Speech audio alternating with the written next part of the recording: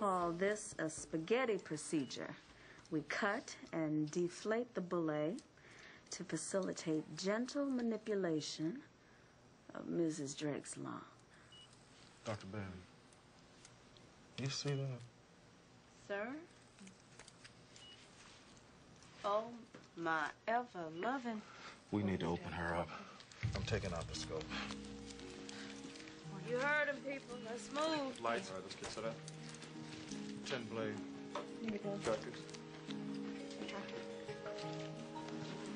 That scalp ready. Tom. Thank you. That rib spreader. Suction.